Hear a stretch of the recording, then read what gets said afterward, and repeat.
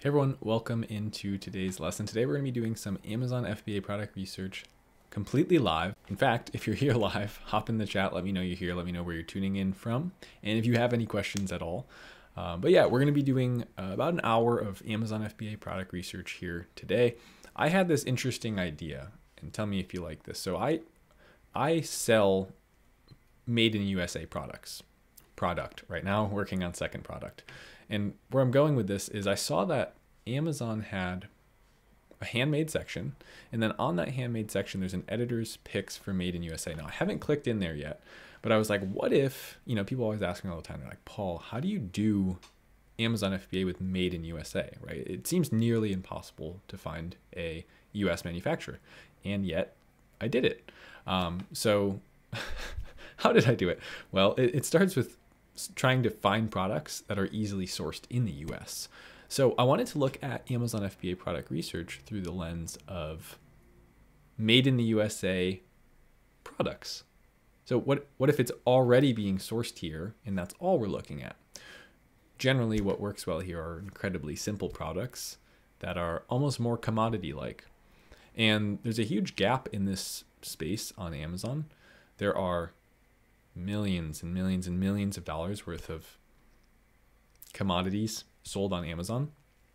And yet, all of the private label sellers seem to flock away from those. In fact, I've even heard in the past, and I might have even said it years ago avoid commodities, avoid basics. But I've kind of, not kind of, I have built a brand around a basic commodity product. And let's just do believability time. In the last 12 months, I've scaled that brand to do $331,000 in sales with one single product. And so I wanted to try and pass on that knowledge to you. And people are always asking me too, like, yeah, whatever, man, but what about profit? I could show you profit as well. Let's go ahead. I took a screenshot from my Sellerboard. Um, and let's look at most recent, not hypothetical. Come on, God damn you. Open. How many times do I have to click on the thing? All right, here we go. So $875 today so far, February 26th. That's today's date.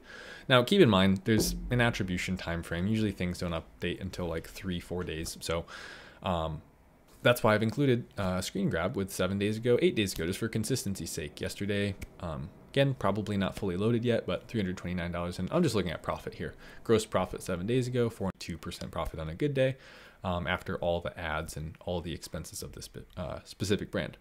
So now that I've shown you that I'm not, um, you know, some guru just trying to sell you something, I don't want to sell you anything. I just want you to come hang out, learn the way that I like to do product research. If it clicks with you, great. Take it away and build a really successful brand. And then maybe one day I can invest in your brand and uh, we can work together. Uh, until then, I hope to just give you the most valuable information possible for free. Um, and let's kick this thing off. Otto in the chat, welcome. Thank you so much for being here. Um, how's it going? Let me know in the chat, um, by the way, what part of this business are you in right now? And are you currently selling? Are you just doing some product research right now? Um, I'm always interested to hear from all of you. So let's click in here. We're done waiting around. let's click Made in USA and I'm curious what's in here because we already know all of these are made in the USA. So it takes away a little bit of the intimidation of trying to find something, reverse it, and try and put in all this work to identify a market and then just learn that it's not going to ever be able to be sourced here. So again, I've never done this before. This product research method. This is just something I was thinking about today um, when I was setting up for this live stream. like went into handmade. I was going to do maybe bestsellers, and then I clicked in here and I was like, hmm, made in USA. So these are already here. So what if we could just win with a new formula in this case, like we are if we we're doing an air freshener made in the USA, and assuming they're selling well, there's enough search volume. Um, could we do a, a very basic product like that, but brand it in such a way that it's impossible to ignore? And I bet you we could. Um, so let's look through here. So we have, hmm, I wonder, can, can we just open Helium 10 right on this page? Randy, welcome hey Paul, just saw you're live. You bet I am. Um, I that sounded so so odd, like an AI. You bet I am live. um, yeah, I, I, wanted to do some product research live. I I, I wish, uh, initially wanted to do a YouTube video today, And it just started getting late. I went out and got a coffee at the coffee shop with my girlfriend today, did some grocery shopping, and I was like, eh, by the time I like edit something and upload it, it's gonna be, you know, evening time. People on the East Coast of the US might not even be awake anymore. So I was like, let me just go live um, and hang out with everyone, uh, stay consistent here on YouTube. And um, yeah, Monday night product research session. So frankincense, myrrh, sense. Okay, these aren't doing too much revenue. And look past those. These are actually sponsored.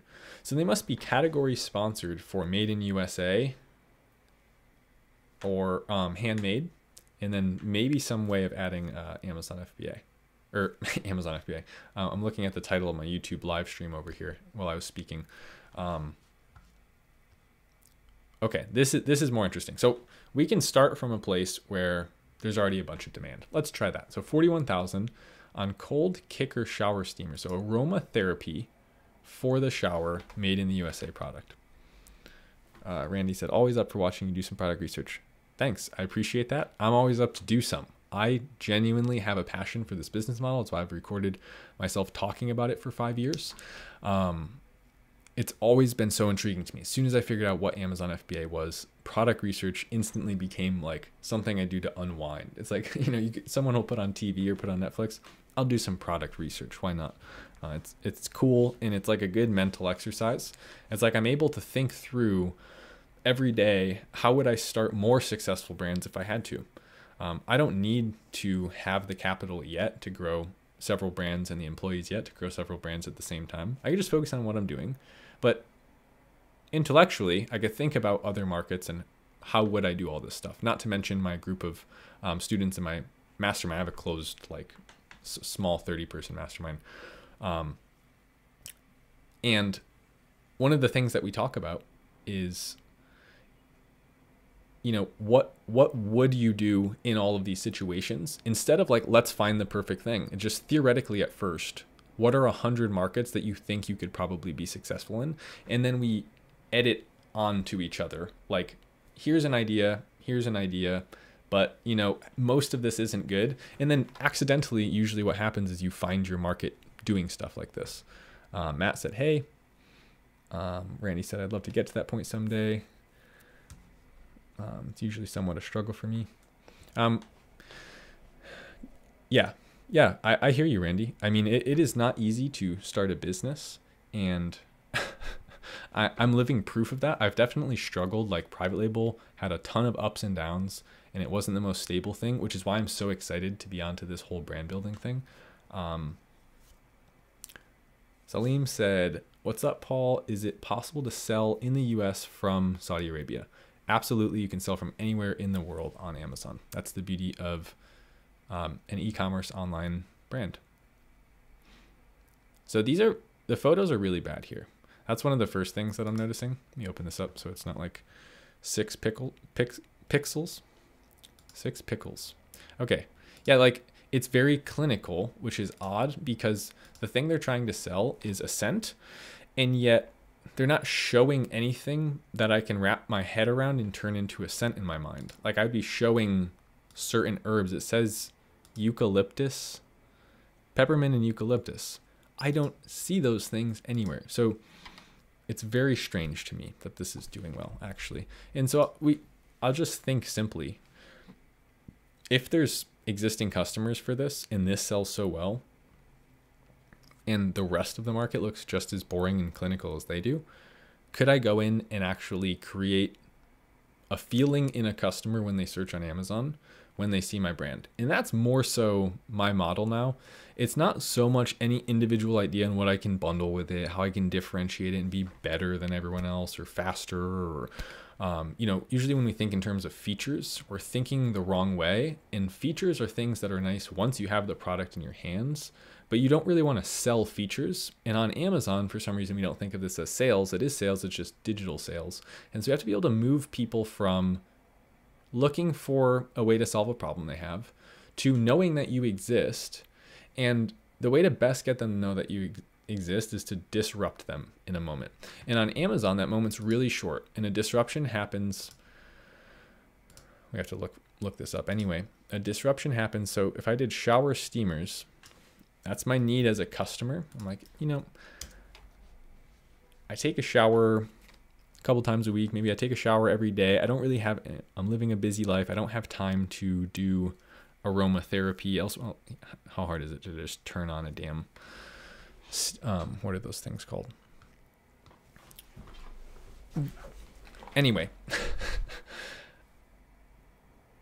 person's looking for this. I, I don't know exactly the problem there, but um, you know, sometimes you have to reframe it into a way that you can start thinking of it in terms of just the person and what they might be thinking.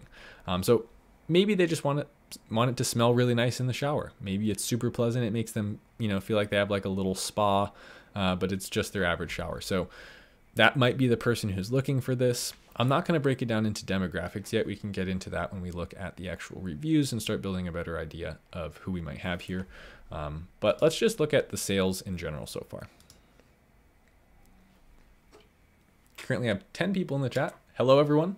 Welcome. Please, if you have any questions, feel free to hop in the chat and ask.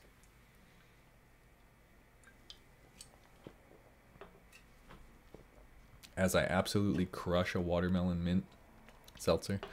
Um, all right. Could you give your thoughts on USA products and suppliers? Are there any specific niches that are made in the USA better than Chinese? Yeah, so basic commodities where you're not using molding or you're not certainly not electronics, right? A lot of the like gadgets and gizmos. I recently did like a little comedy skit short. Um, it's, it's like called "Don't Look." It's the Amazon guy, but anyway, just reminded me of that because I said uh, gadgets and gizmos. Um, check that out if you haven't already. It's pretty funny. Um, that stuff doesn't really get produced here. It's like we can import coffee and have someone locally like bag it for you, or we can do like concrete or wood or cleaners, soap, deodorant, like things that things you can picture being manufactured in someone's backyard and or a small company making it. We don't really do the whole big factory like we're not a production country. So you have to look at the things that don't even make real sense to source elsewhere. Um, maybe it's a food brand, or maybe it is um, gardening supplies, like things ju- that just use the earth that's around us, um, that kind of stuff. Um, yeah, hopefully that answered your question.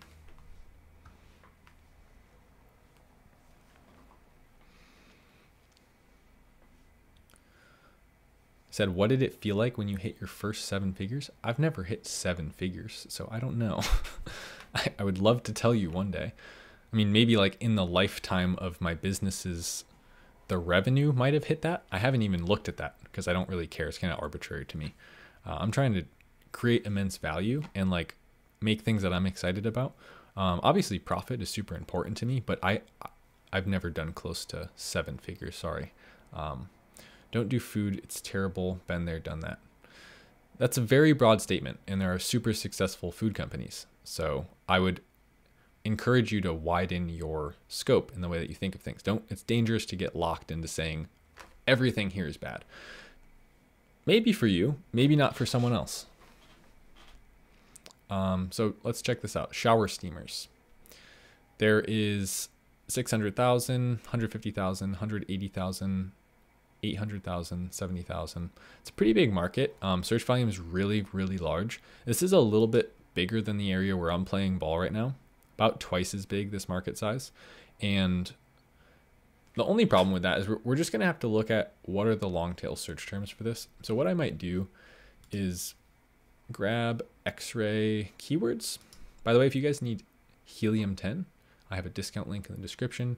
I know probably everyone in their whole family has helium 10 at this point. So, um, yeah, but if you haven't, there you go. X-ray keywords. Let's see. So it looks like what a lot of these might be ranking for. Oh, interesting. I didn't even think of this. Was Valentine's Day gifts. Hmm. Interesting. So is the customer someone who's not even buying it for themselves? That changes things, changes the way we do our marketing, changes everything. Um, I would be happy if you could give your thoughts on products from Japan, South Korea, or more developed countries. Please let us know the discount code. Discount code is Savage10 or Savage20. Um, if you want 10% off for lifetime, Savage10. Let me grab here. I could do this for you guys. I'll grab the grab the link and throw it in the chat. There you go. Um, that page uh, will show you both of the options. So that changes everything if it is for someone else. Eucalyptus for shower. Um, 46,000 search volume. Yeah, we're going to have to take a look at some of these reviews. Right off the bat, um, I, the first thing that I care about way before that is what does the market feel like? And do I feel like there's anyone who's really playing ball here? I don't want to compete against other disruptors really. Um, maybe one day I will, and I'm sure I'm sure I will. And it'll just be who's playing harder, right? if one company's bigger, has more resources, and cares about it way more, I'm sure it'll be reflected in their product um, and in their offers. But right now, I think to get both my feet under me in the branding world, and like someone said before, what was it like when you hit your first seven figures? Um, well, let's try and do that. Like, can can I get to the seven figure mark?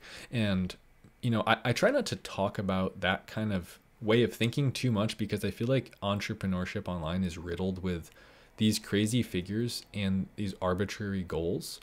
And that stuff will never move you to do something. You have to become deeply curious about a subject and want to spend time doing it because to do anything that's successful, and I can attest to this, I've tried many different products and I've been selling on Amazon for five years. The only thing that got this to the point where it would work for me is when I slowed way down I stopped trying to hit seven figures. I, I kept build. Is the stream looking all messed up right now? Um, one second. Let me know in the chat. Is the stream looking weird?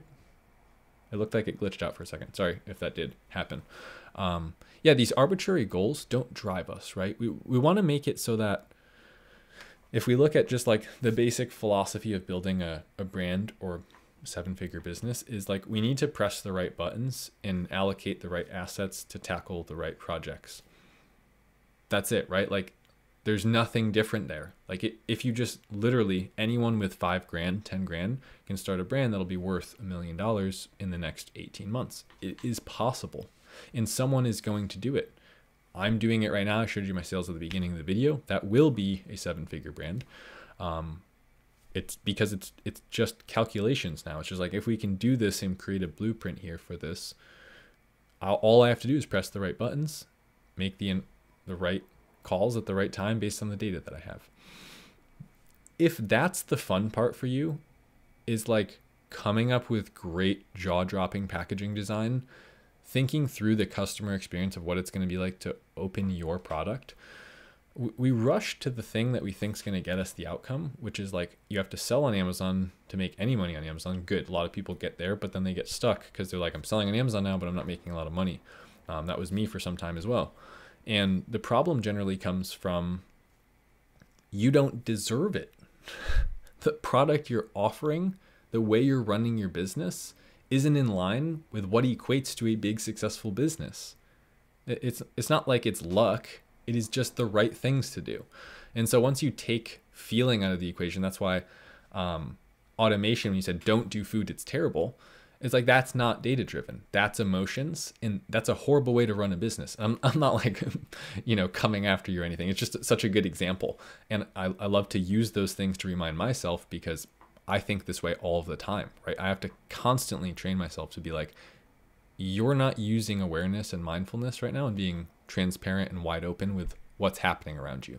You're developing an intuition based on what you feel is wrong, but if you just went and go went over your financial documents and you went over your um, conversion rates and click-through rates and if you don't have anything yet you don't even have any of those data so like am i making data-based decisions and if you can fall in love with making data-based decisions, running experiments and seeing what happens, and then taking that data and making better experiments to further see what happens.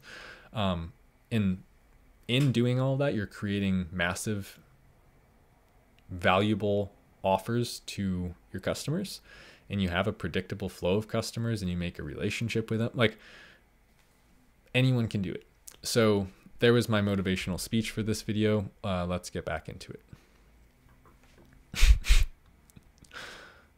um, like the least motivational sp- speech, I should say. It was like almost anti motivation. It was just like basically find something that's really fun to work on, even when it's not giving you results. Because you're not going to have results for a while. And when you do get them, they're probably not going to be the ones you want. And you just have to constantly be curious about what's the next thing um, to make this more irresistible to customers. Like there's a really good book called $100 Million Offers by Alex Hormozi. Many of you probably have heard of this and or have already read it. Um, the man is much more successful than I in the world of business and much more um, has much more impressions and views on his videos than mine do.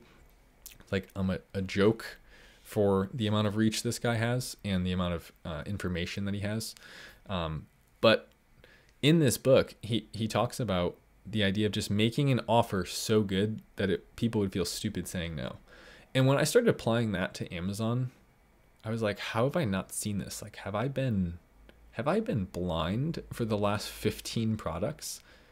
One of the questions that just popped up. Have you ever had a product fail, Paul? Yes. Everything I ever sold ultimately failed because I'm not selling them anymore. That's why I like took this stance on YouTube. I was like, "Hey, you know, big flashing stop sign everyone in the private label community, you're entering uh, an endless pit of grind here and it's eventually going to end in your profit being cut to nothing if you're selling this way. Like this idea of i can just throw my logo onto some chinese product the same one that everyone else has and for some reason oh because i did it i'm going to be successful. Not the other 2.5 million amazon sellers. They're they'll all likely succumb to my market dominance like we, we have these inflatable views of what's actually possible when we're acting that way. And so, yes, have I ever had a product fail? Everything I ever sold up to this product I'm selling right now has been discontinued. I do not sell it anymore. I would consider them all to be failures. Now, granted, that doesn't mean I didn't make profit off of those. Like, I'm looking at, but being realistic about what happened to them. Like, did I sell them forever? And is it what I'm working on now? No. So is that a failure? In my mind, yes. I would say a, any discontinued product that stopped selling because it was no longer favorable to sell that product is a bit of a failure. Now, granted, products have life cycles, and so if it's like, it's more like, did you make money selling it? And by that standard, they were not failures. However, I'm trying to make something that is kind of infinite. I don't want it to be a life cycle of a year at best two three years and then like profits are crushed and to be fair eh, there is someone profitable in any market that i stop selling in but they probably did so by having a longer life cycle for the product and expecting to lose money for years and i never wanted that and i didn't care about it enough to stick around and order so many that i could get my cost way down and compete on cost it just like that wasn't intriguing to me um, is this live or pre recorded? This is live. Yeah, this is live. What's up? Um, I've been doing a very poor job of actually doing product research because I just start talking. Something ever evolving. We must always improve the product, perfecting it constantly. Um, I I do agree with you, but I would say you want to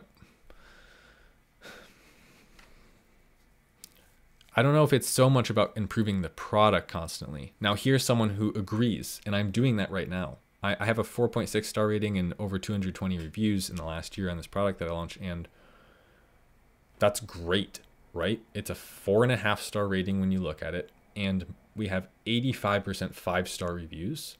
The other reviews, a lot of them are threes, and we have a few ones. And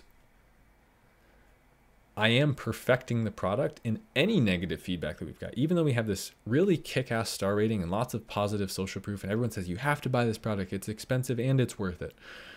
I'm still improving it. So I do agree. However, the, the thing that I'm starting to learn and the way that I'm planning on growing, and maybe you can um, attest to this, talking to Zelter- Zelteris, by the way, um, is can we create an infinite relationship with our customers in which when they think of this market, they think of us? And can we make make it a fun experience to buy from them and make our brand name the brand name they would suggest by word of mouth to someone else who is looking for a product. Um, so when you can get it to that level and the connection of the person, usually you do it by having a product that's so good, right? Because when products are really good, we recommend them to people. Like, oh, this product's awesome. I had this problem, now it solved it. Um, I'm sure putting a product out there that you put on your product ideas into does give a good feedback loop when it's when it does well. I'm slightly confused by that phrasing. Um,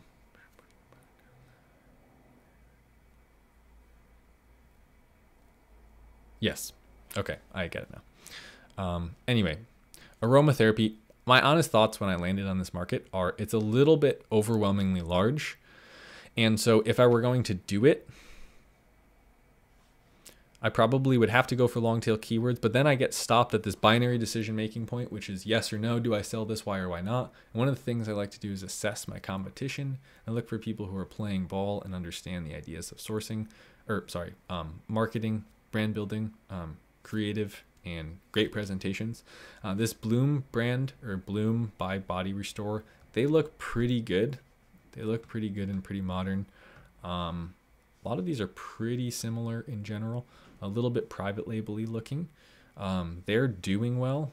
They don't look that well, that great to me. But again, what am I doing here? I'm just subjectively looking at the market and thinking like, do any of these look like if you told me this is a $20 million company, I wouldn't be surprised.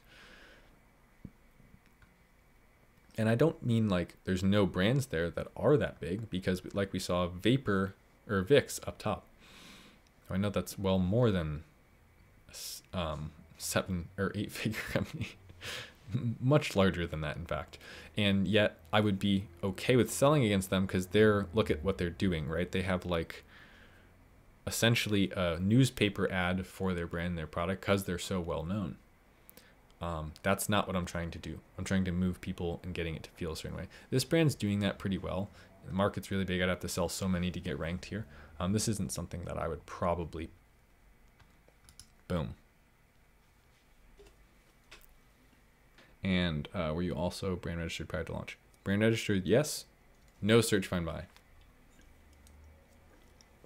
If you have to do a search find buy to launch, you're essentially doomed to fail. That's a really bold statement, but what I mean by that is if you can't get people to see your product and instantly want to buy it because you don't have a couple of reviews or you know, you're going to be able to run ads and get impressions. So, I'll be able to get people to see my listing. If people are in the beginning are seeing your listing and not buying it, a couple more reviews probably won't change their mind. Um, so yeah, we launched no search, find, buy, no reviews, no weird stuff. Just put the listing out there, started running ads, and within the first couple of days, we were hitting nine nine units a day, um, and then just kept scaling from there. Because your offer should be so good, your creative should be so good that when people see it, they just want to buy it right? So all we have to do is put it on Amazon and then run some ads, and then people will buy it. Only reason you have to do that is if no one's going to buy it at launch, right? Doesn't that seem in, inherently flawed? And like, even if I was going into a really big market, like the one we were just on, the one with um, shower steamers, what the heck, heck are they called? Um, 20,000 sales per month on some of those products. Even there, it's unsustainable to give away enough units unprofitably to try and get ranked there. So the real long play is just put out something so good that when people see it, they buy it. Okay, so we're back on handmade and we're in made in USA. Thanks for everyone who's hanging out with me tonight, by the way. Appreciate you being here. If you guys could do me a favor, if you're watching the stream right now, just leave a like on it, leave a thumbs up. We got like 13 people in here. Um, a lot of you haven't, and it just it just helps me out, does me a favor personally, um, so that it gets out to more people. Um, let's see. So, did you use Helium 10 at all for finding your product, or just the 100 item list that you talked about? I used Helium 10 to analyze my idea. I did not use it to find the idea. So, like what I'm doing now.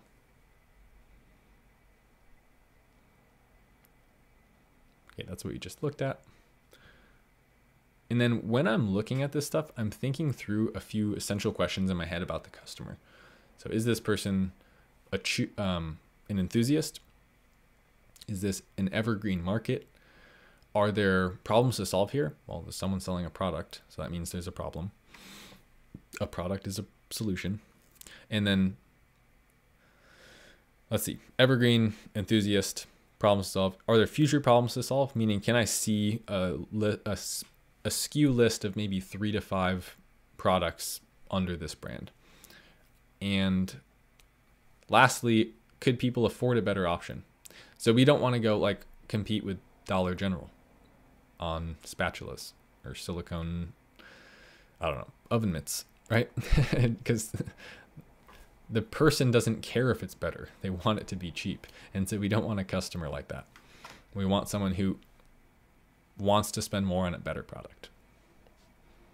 Me actually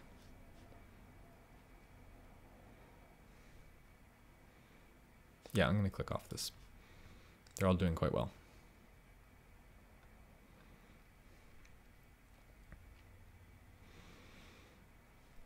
Does anyone have any markets that they would like me to check out? If you do, feel free to enter them in the chat. I will certainly do it. So what is this? Lanolin. Is that the brand? No, that's the product. Okay, let's open another Amazon tab. We'll do lanolin. Check out the search volume and whatnot. Hey, a couple of you liked the stream. Thank you. Hopefully YouTube gets my videos out to more people so we can all make successful, awesome Amazon FBA brands made in the US products. Let's do it. All right, let's see. Lanolin, I'm going to check out search volume and I'm going to check out the sales. If you see me looking over here, by the way, I got the chat right here and some back end stuff. Just making sure everything's going well. Okay, search volume's good. 17,000. Revenue is good. Uh, what I like to see here is that we have um, most of the sellers doing five figures, so 11,000, 30,000, basically anything between 20, 10 and 99,000. And then um, maybe one or two over six figures. So for instance, 230,000, 111,000. This market's almost perfectly lining up with some of those stats. Uh, there's a few smaller ones doing four figures as well. This looks like a pretty good spread of revenue. Looks like there's quite a few prosperous listings here. And now I want to go and make sure that no one's no one's already competing the way we would be. And I will always refer to this as an example because it is exactly what we're trying to do. Evoke a feeling from a customer who's buying a product where the product is not why they're buying it. They're not buying it because it's mountain water from the Alps. They're buying it because of the can. And so, is anyone sell it. Does anyone, is anyone selling? Yeah, no, does anyone who's selling know that? See, those are the things that would get edited out from a YouTube video, but live's a little different. Sean said, Thanks for all your content. I'm about to launch my second product after a six year gap, and your content has really helped with thinking outside the box. Thanks, Sean. That's very kind of you. I appreciate that. You are the kind of person who I make these videos for. Um, I've always connected to mm, yeah, the Amazon FBA community, for lack of better words, right? It's like, obviously, this is the thing that I became incredibly passionate about as just a teenager and spent my all of my years running an online business doing. So I'm super stoked to hear that that information that I've learned has been helpful to you. Um, thank you so much for hanging out with me. Let's see. Yeah, so this is no one here. Okay, we're getting close. We're getting close. So, what does it feel like when I look at it? Does it feel expensive? Does it feel like it has more value than anything else? And so, one of the things that I'm trying to get people to realize, because it helped me so much, only because it helped me so much, is that if you take I'm completely contradicting something I said earlier, but not really because take data out of the equation in the beginning and truly go off of feeling in the beginning when you're doing product research. I know it sounds very woo woo and very odd. I used to only look at data, but trust me, I failed plenty of times. So the, clearly, just thinking in that way isn't the solution. You, you have to be kind of well rounded in the beginning. Um, you know, a great business has a bunch of great minds running it, and a lot of them think very differently than each other. And through that friction of quite different ideas, usually come to a better product that's more well rounded and less one sided in the beginning, you only have yourself most of the time, unless you have a business partner, a small group of people that you hang out with, which is why I made Savage Sellers, by the way. This almost perfectly, it sounds like a commercial maker, and I swear to God it's not, but I just thought of this.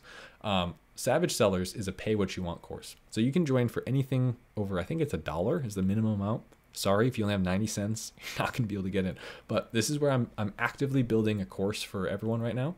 Um, basically I want to destroy all of the thousand dollar, five thousand dollar courses with something that you can join for a dollar. And I want to grow the largest community of people making profitable US based brands um, anywhere on YouTube. Seriously, I just want to do that. That would be cool. I'm, you know, I had this way of thinking. I make lists that they're called what would be cool lists. That would be really cool. It would go on that list, and that's the way I like to live my life. Um, so this is completely well, it's not. I almost said it's completely free of charge. It's basically free of charge if you don't want to pay for it. You literally pay uh, 90 cents a cent, uh, or sorry, dollar uh, a month for it. Um, and it is my course. I also do monthly product picks in here. It's free downloads and templates. Um, I do live streams every other week. And uh, yeah, go check that out if you haven't already. Don't, if you're on the edge, you're thinking about buying someone's expensive course, please do not. Do not give them a $1,000 because I, I promise you, I'm holding myself to this. I will make everything that I know that got me to $300,000 a year on Amazon. Um, I will give it to you for a dollar a month. Uh, okay.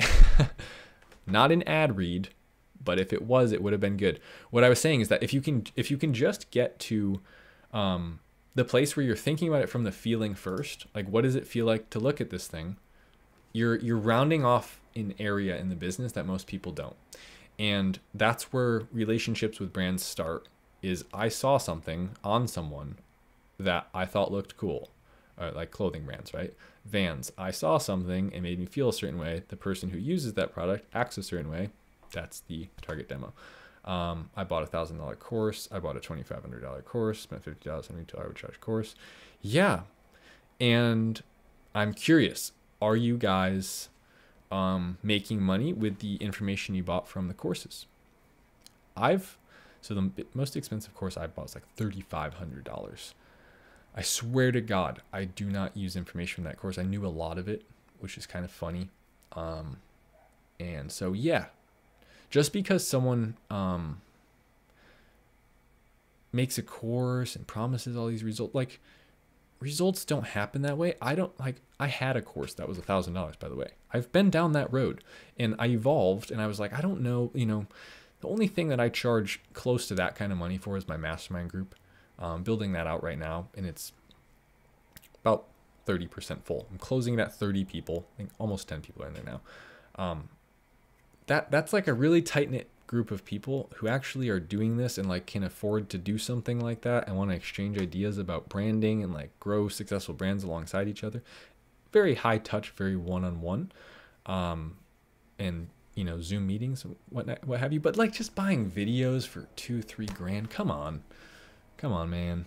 All the information you need can be can be accessed for completely free. And I, i'm trying to boost that and make it a little bit easier for all of you Thanks for all the engagement in the chat, by the way. It's been super awesome talking to all of you. Um, most of the money made from free information. Yeah, same. I taught myself. Um, I've honestly learned more product research from you than I have there, um, but I learned a lot of ad stuff from there. Oh, great. Fantastic. Yeah, ads are really important. Um, and, and some things, some, some things are like, you, you do need courses. I, I, I don't want to sound like the guy who's like, don't buy courses. That's such stupid advice because there's very specific skills that you can learn that can make you way more money than you paid for the amount you're paying to get in the course. Um, but if you, I don't know. You have to weigh out your options of like, do I need more knowledge that I can't get from free stuff? I would just start there. But you don't need to jump the gun and head straight for the course, I'd say most of the time. Like learn max out the learning you can do until you get to a paywall where it's like, this is as much as I can possibly know for free. Then it starts to make sense because like now someone's selling their advice or their expertise. You might need to talk to them. Um, I've learned from a $4,000 course and from your free content. You've been very helpful. Oh, thank you. Um, Spent two years working on a packaged food brand only to be confronted the realities of the packaged food industry. Picked this course because it was run by someone with a food brand, uh, but he sold his food brand because it sucked compared to his course money. Yeah, barriers to entry are pretty high in that area. I will say that. I've looked into it a little bit. Um, it's why a lot of these small food brands are getting investments from companies. Very capital intensive, right? There's a lot of variables there. Okay. I think this is not a bad place to start, everyone. This lanolin, uh, you could source it in the US and then make it. Um, I, I like to model success. So I'd look at other brands who do. Okay, here's a, a good example. Like maybe Shea Moisture is like a very popular, excuse me, brand how would they sell this product? So I might think from that perspective. Um, what's the story here? What are they selling? Um, what does their packaging look like? And don't just copy it. definitely, originality has its place on um, packaging. So like, generally, juxtaposition works well. If you see like liquid death style packaging on a body lotion, it'd be like, wait, what? but I would click, right? So that's kind of this, that's like where I get, I'm even cheesing right now. I get excited with that stuff. Where like, can I shock people? And that's what I've done with my, um, my product. I just want to shock people. Like, punch the customers directly in the face with your branding. Um, like, just, I have to click. I have to click. It's not an option.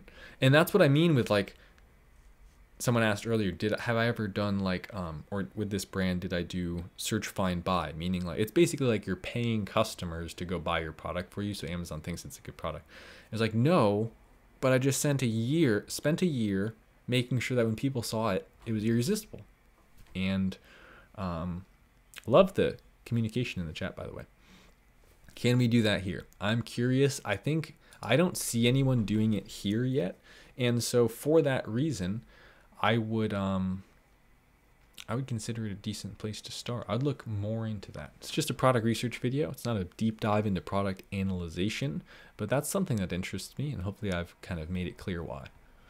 Um, Sean, the course I took. Okay, that's not for me.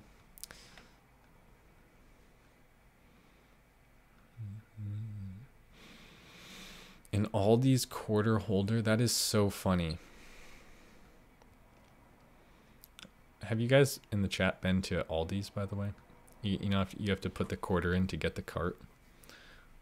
That's really funny.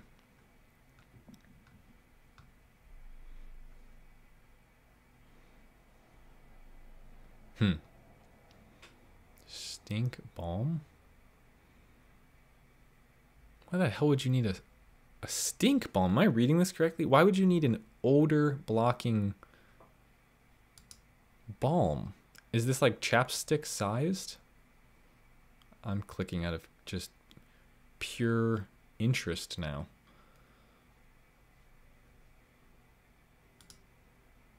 I must be ignorant to the use case here. So it's for nurses.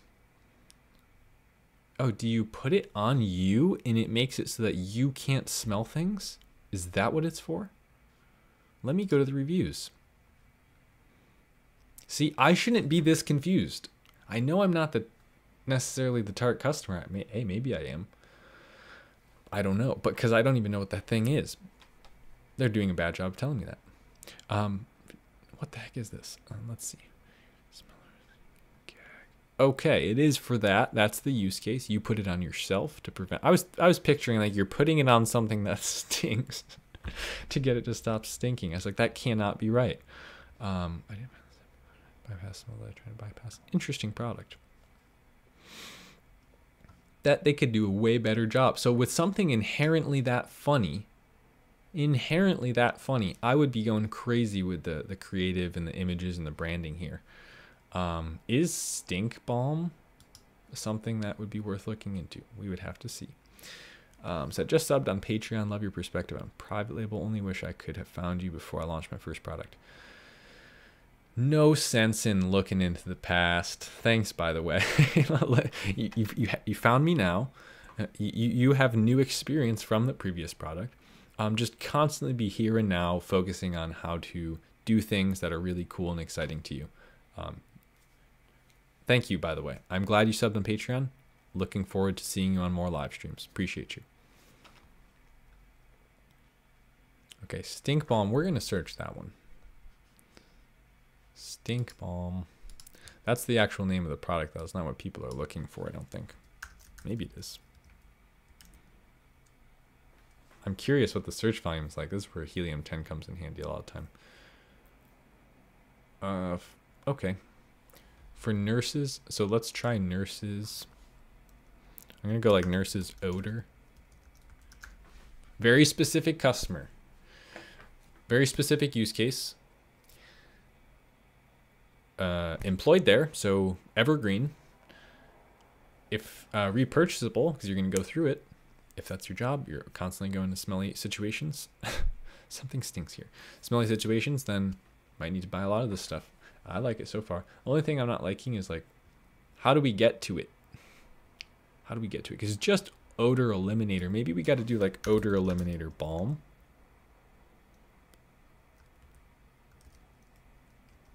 Sorry, my mic's covering my keyboard. I'm not a very strong typer. Okay, I didn't pay attention in computer class. Let's see. Um, odor eliminator. So I'm looking at the long tail keywords, looking for something like balm.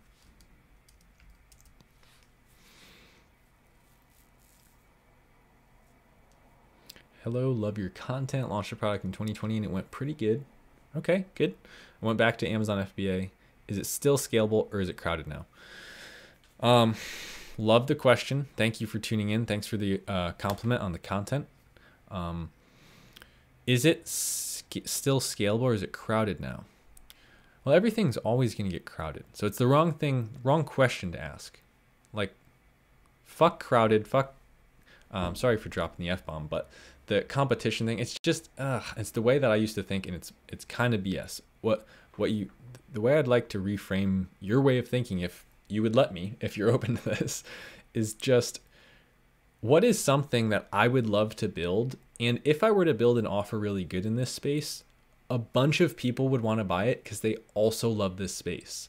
Just like work on something that's super fun to work on so that you work on it harder than anyone else. Because when something's fun, we're in that flow state, time just flies by, right? I'll spend a whole day fly fishing. I'll wake up early to go fly fishing. I'm going on Wednesday. I have a brand in the fly fishing space and a content creation company in the fly fishing space. It's called Savage and Smith, if any of you want to look it up. But point being, it's fun to me, so it's going to be successful, right? It's it's is it a crowded market? Fishing, yeah, there's thousands and thousands of fishing channels on YouTube, and there's you know you know millions and millions and millions of dollars being made on all these different fishing products. But it's like it doesn't matter. It does not matter. Um, Sean said, Thanks. That was my thoughts after looking into it. You need a really good story behind it. Yes, exactly. Good competition in US sourced markets is actually very um, low in most products or in most markets. I find new opportunities every day. Thanks for the answer. Loved it. Uh, I had a one to one session with you in 2020 as well. Definitely taking your advice. Oh, fantastic. 2020 was a busy year for me. Um, I'm sure if we hopped on another call, I'd recognize you. Um, but just from behind the chat, uh, I don't at the moment. Um, okay, cool. Yeah, thanks for all the questions, by the way, everyone who's here hanging out with me. Um, if you have any, please enter them. Dramada said, Hey, Paul, I'm super late. I'll have to watch the replay. Um, well, you're here now. Welcome. Thanks for being here. Um, please do watch the replay. Uh, we went over some fun stuff. Uh, do I need to be a US based person? No, you do not. No, you do not. You can do this from anywhere in the world. All you need is a laptop and an internet connection. that's part of what made this business model so cool to me in the beginning, too. Um, all right. Odor eliminator balm. So there's odor blocker. So stink balm is really the only one doing this. Um, how big? I, I am having trouble finding the market. So I I wonder if they're getting a lot of their customers they're acquiring customers off Amazon because there's not a ton of things to rank for here. So it must be like an existing uh, website or they got in QVC or something of that sort. Um, Andromeda said, "You're welcome. Thank you from Canada." Hey, I I should say a. I love Canada. I've only been there a handful of times. Uh, when I moved to Washington State, I drove up to BC one time and hung out in Vancouver. Fantastic, um, beautiful country, beautiful landscape. And um, one time I took a ferry ride over to Victoria, BC as well. Also incredibly nice. Um, everyone's so nice there. Thanks for being here, by the way. Um, okay, so stink. Yeah, we're, we're out of this. It's just I'm bored at this point. It's it, we took too long to look into it. I'm over it. but no, no, I, I, did come to a conclusion. I'm just being a little bit of a smartass. Um, I, I don't see a lot of existing search volume. So if that's not there, there's no customers, no warm engaged leads. Like I, I can't well, they're not engaged leads for us, but they're like there's lead flow to the market, um, customer interest that I can hijack. It didn't seem to be there. Uh, by the way, for anyone just tuning into the stream, I see we got 20 people in here.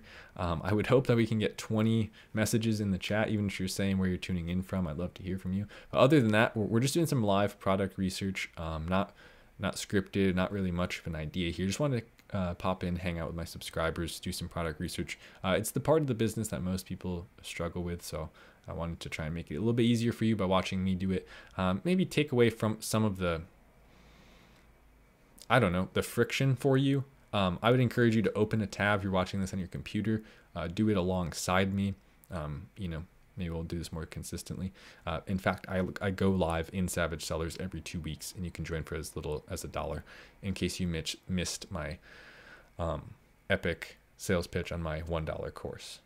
Um, tuning in from California.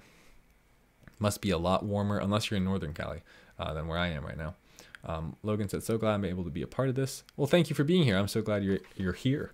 Um, what do you think the next few steps in your brand? Um, you know what's annoying me right now? I keep stuttering, and it, it, it's making me sound illiterate because the damn heart on the chat is covering. There we go. The heart on the chat was covering the little emoji thing. Um, was covering half of your guys' sentences. Okay. Southern LA. Okay. Yeah, much warmer than where I'm at right now. I'm up in up in northern Washington. Okay, cool. So, uh, by the way, uh, also for those of you who are just now tuning in, may have missed the beginning. We're in the handmade tab on Amazon. Maybe we'll move soon, but right now we're in handmade, and we are in made in USA. So I was like, you know, I did the USA, uh, made in USA thing I showed this earlier, but there's a bunch of new people in the chat. Just so you know who I am, what I do, in case you're new here. Um, I built a Made in USA brand, 330,000 in the last year, and one product. We're launching our second product this year. Hopefully, a handful of products this year to try and get to seven figures. But I'm just trying to document the process live. Um, you know, full transparency. I, I don't tell people what I sell because it just skews all of my brand analytics and data. People, subscribers start searching for my brand and clicking on my ads. It just doesn't work. I've done it in the past and I actually had to start a new company and a new Amazon Seller Central account because it, it got that bad. Um, but um, yeah, that, that's what I'm doing. Um, so if you're here, if you're new, please consider subscribing down below. And um, yeah, thanks for hanging out with me. So we're on the Made in the USA tab. Tennessee, kind of warm. What's kind of warm to you?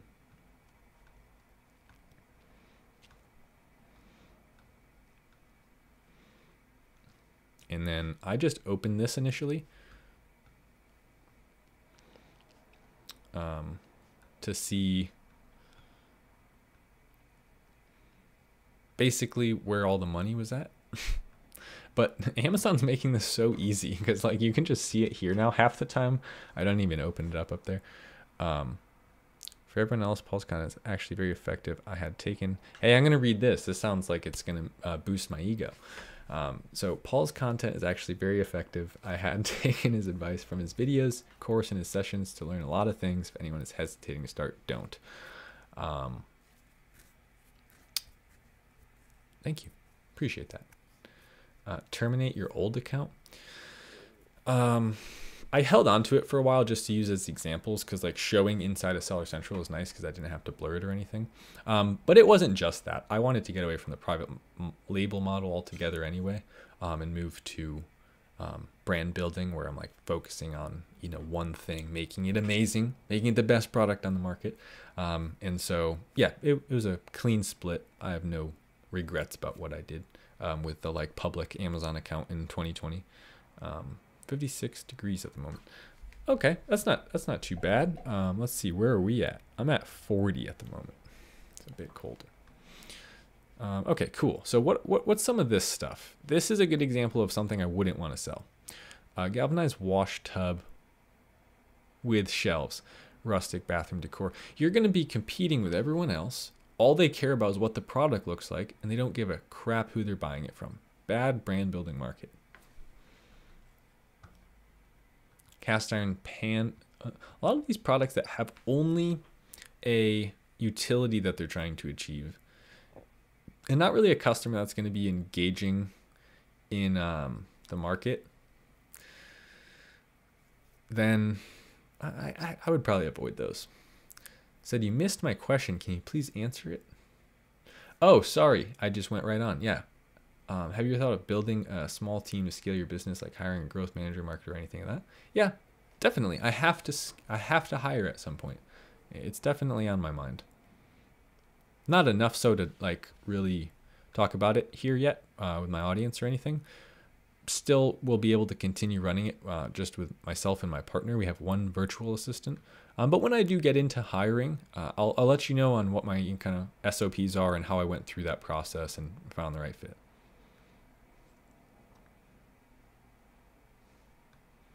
Now, I do know intuitively you don't grow to hire, you hire to grow, but I am kind of growing to hire a little bit. It, it will probably equate in slight inconveniences in the future with having to train people on the fly, but it, it's just not like it's not my priority right now. There, there are better things that I can do at the moment from my own perspective to like just quickly make more um, more growth this year, more profit this year. So I'm going to do those things first. Um, and it hasn't gotten close enough to being unbearable yet or unhandleable for my own self, the workload. So, um, yeah, when I do, I will certainly let you know. I'll document the process.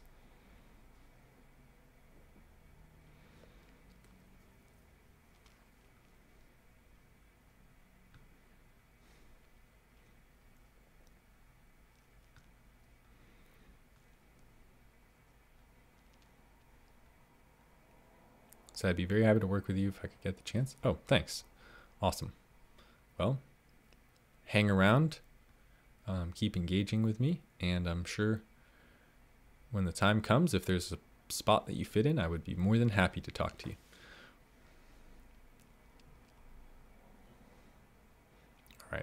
So I, I think, let's see, we're, we're kind of losing the kind of ideas that I'm looking for at this point down this far. Uh, let's try page two. Let's see. I want to open up Helium 10 2 and see if there's enough volume at this point or if we're just losing it.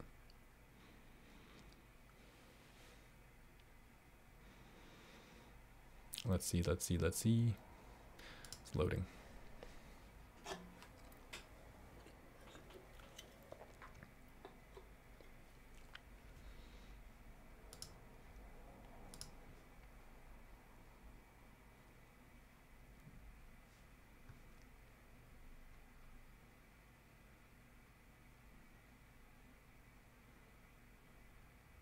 Yeah, there's some volume here.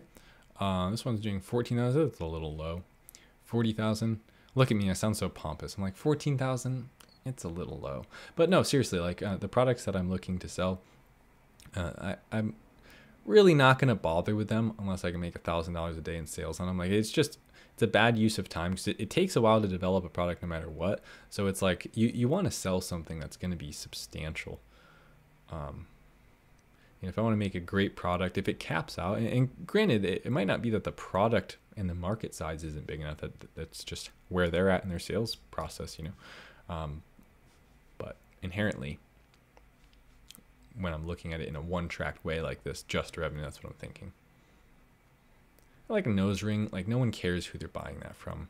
And I think it's gonna be pretty hard to like get the customer to care about your brand and why they should buy it from you. And so that's the lens that I'm looking through this stuff a lot, a lot of the time. Question for everyone who's in the chat live. Can you let me know what stage of the business you're in right now? And if you're just a beginner and like you legitimately are doing product research, feel free to just say product research. You don't have to be selling, but I'm just curious. I want to get an idea of like some people, um, you know, we got the coolest chill spot here on the internet, the Amazon FBA space, uh, certainly, and possibly the entire internet. So I, I want to hear from you. Hop in the chat. Let's have, um, let's have a discussion. Okay, cool. So let me close some of this stuff down.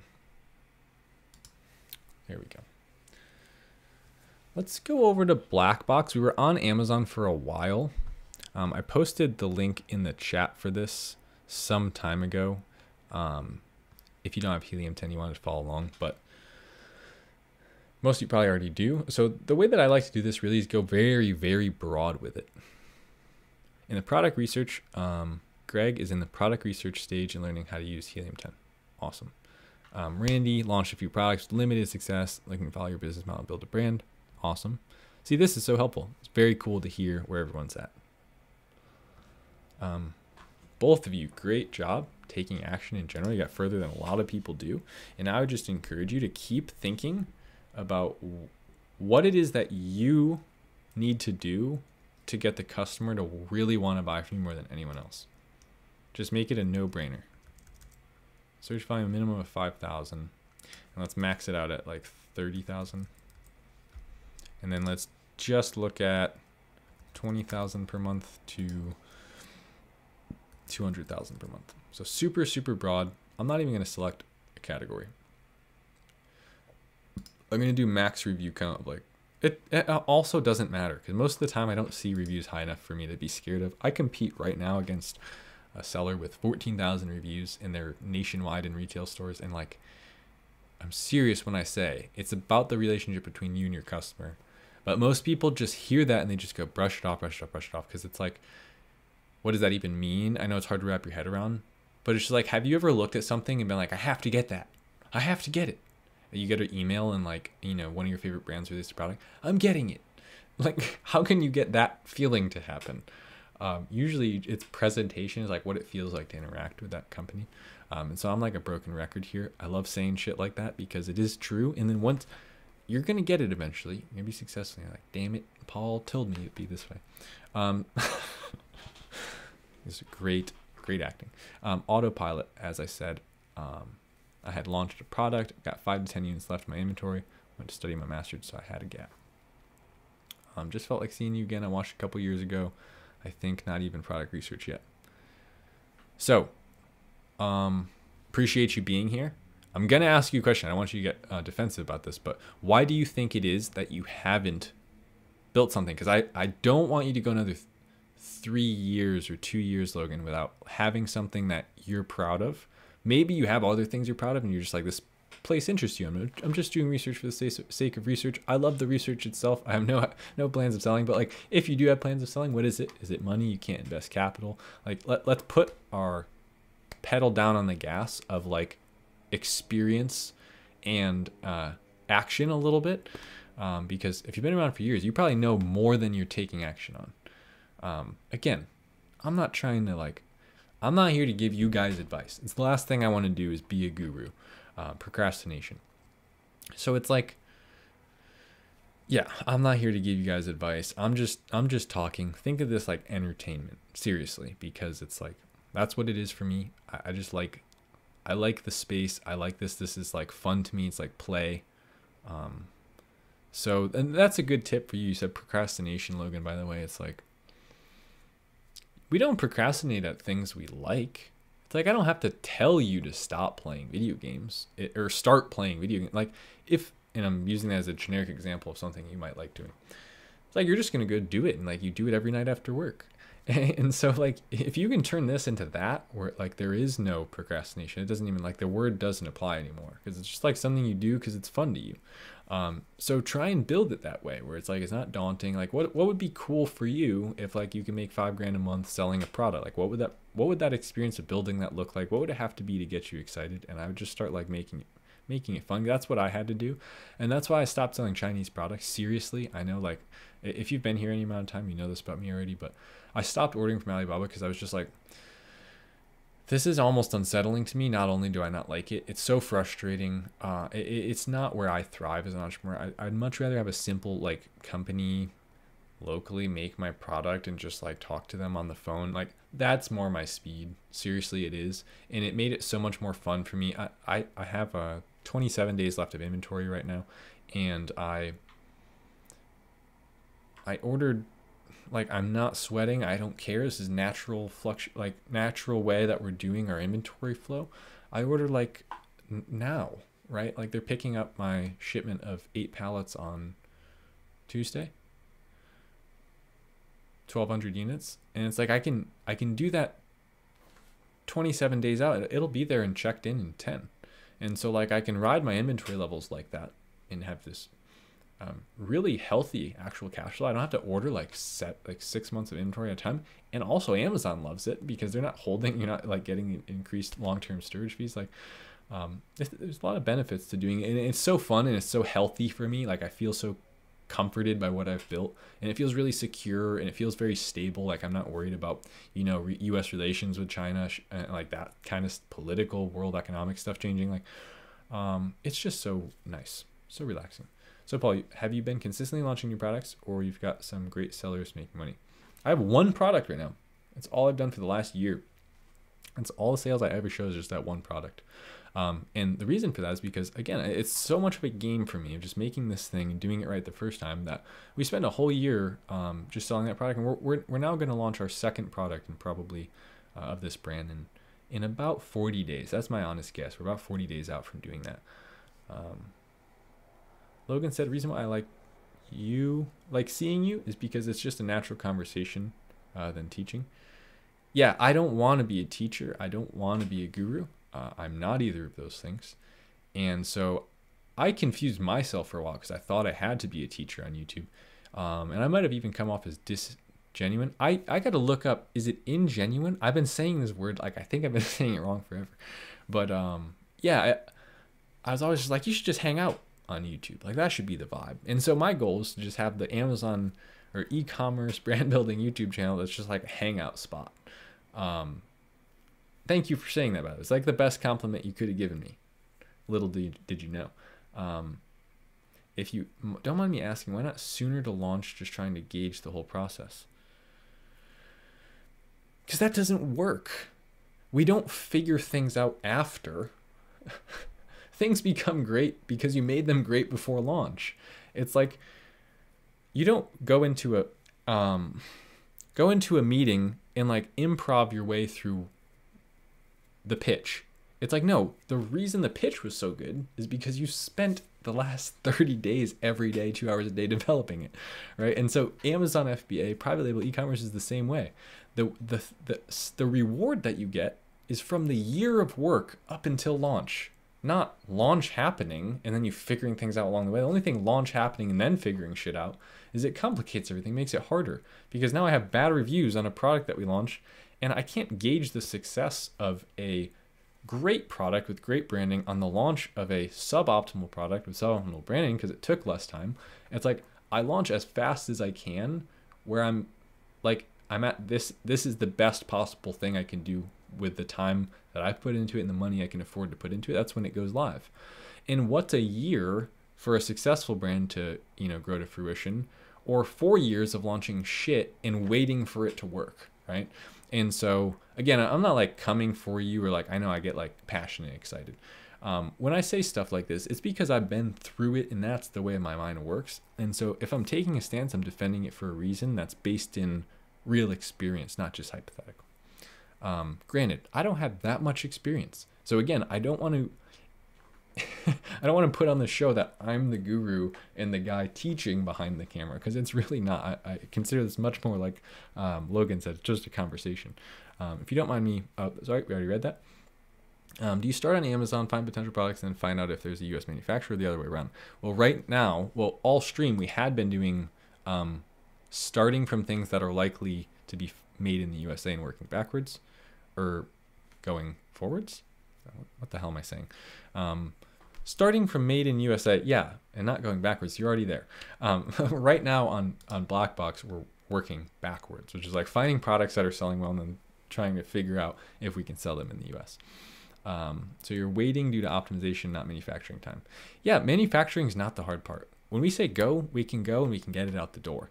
It's R and D and it is package design and it's all those things that we got to get right. It's the, you know, idea to fruition is quite a long process. There's a lot of things you got to get right in there. Um, if it was just ideas, I could launch them all tomorrow.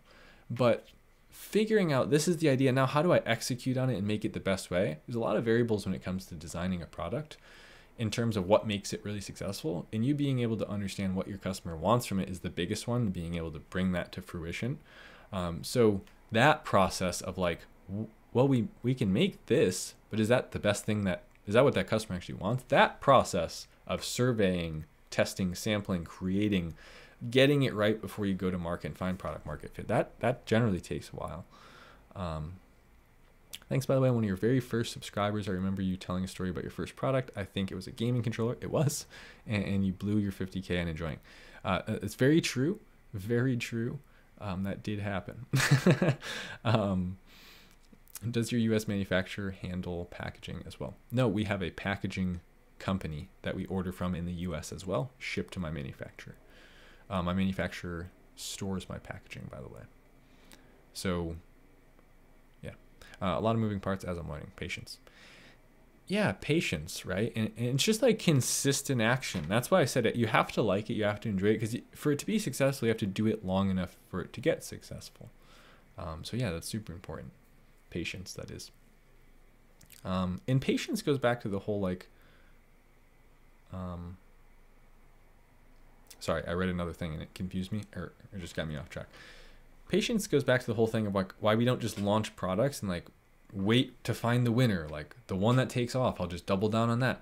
It's not the right way of thinking about it. You have to make pre-planned, calculated decisions about why things are going to work, and then bring them to market and shock everyone because it's so good.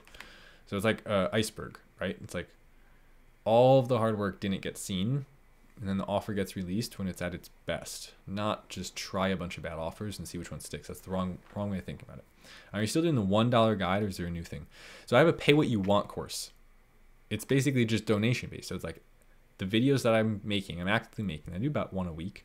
Uh, it was a little bit slower when I was getting some stuff off the ground, but now we're back to one one a week. So it's like coming out actively. Right now, it'll get you through from a beginner to sourcing in the U.S. Now I'm trying to go back in with advanced strategies. Um, but yeah, I still do that. Um, pay what you want. If you want to donate more, you appreciate what I do, you can, but you can get in for as little as $1 at savagesellers.com. Um, product you sell, you're passionate about it, or just something you knew you could optimize. Yeah, that's a really good question. Like, am I my customer?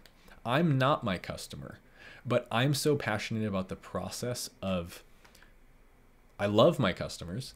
I'm very passionate about the process of just just making the best possible option somewhere. The, the the actual game of the business is what's fun to me and what I'm passionate about. But I'm not my customer. Um, started in 2018 selling books on Amazon, and after listening to you and a few others, I launched a single US made in USA product in 2020, which I managed to grow to 10k per month on average. Thanks, Tony. That's awesome, fantastic. Love to hear that. Very cool. Very cool. So what do you say we do some scrolling? I always start from the idea of just like, do I think I could stop this person who's looking for this thing in their tracks? I know that's like a bit of an obscure question, but that is really the way that I think about this.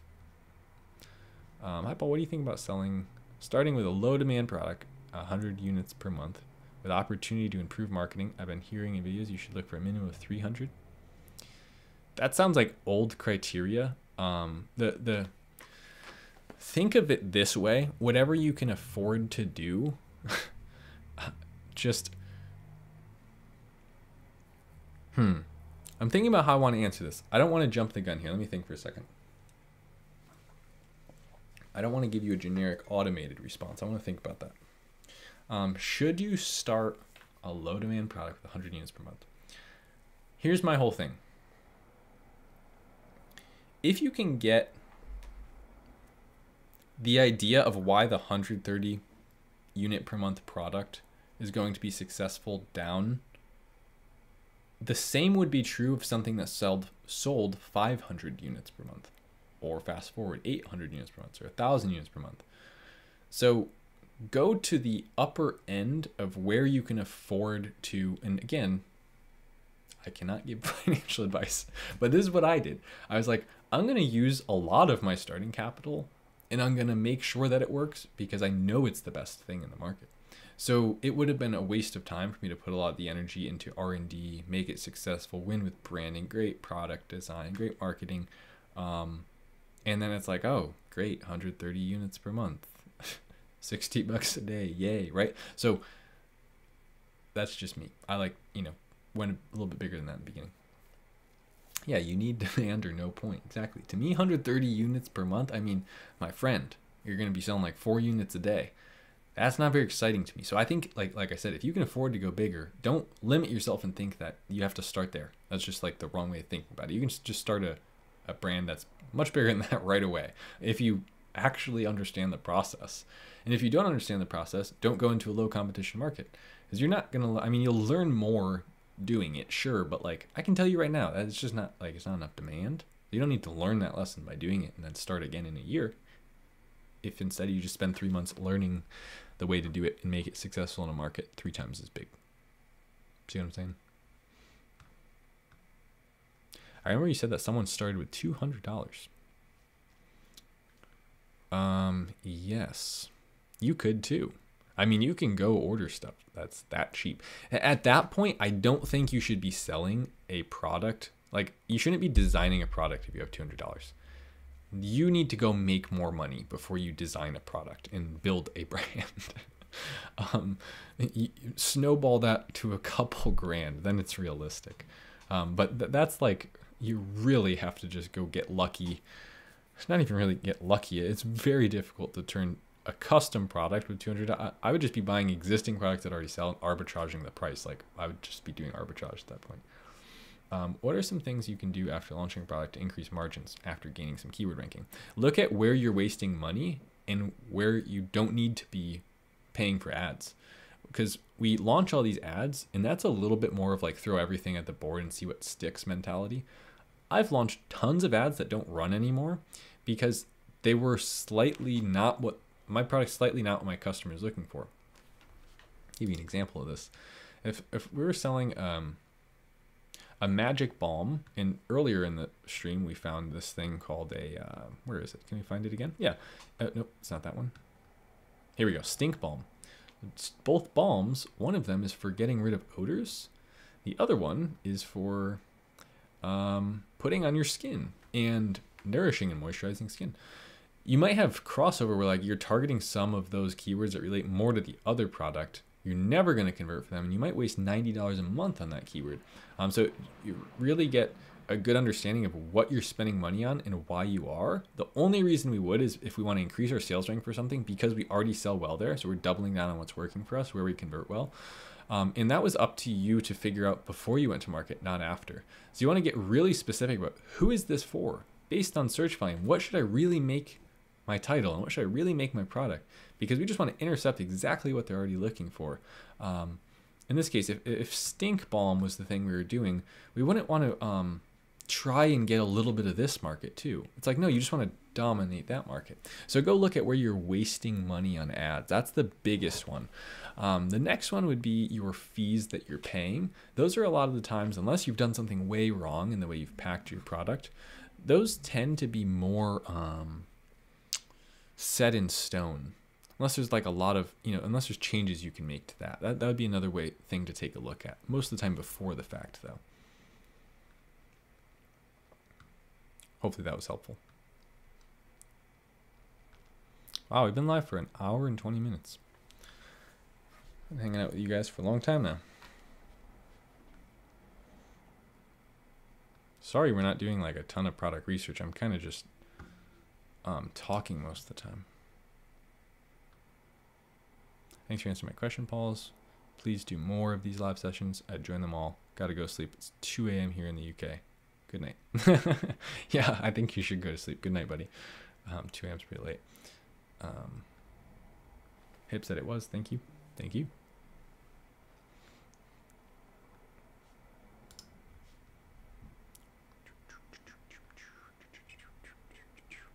Okay, with that being said, everyone, I think we're gonna wrap it up there. It is actually getting late for me too. I gotta get started on some dinner. Thanks to everyone who tuned in live. Um, and I appreciate you all being here. I, I will do more of these live streams. If you want to catch more of them, like I said, um, you know, I do these every other week in Savage Sellers, and you can join for as little as a dollar.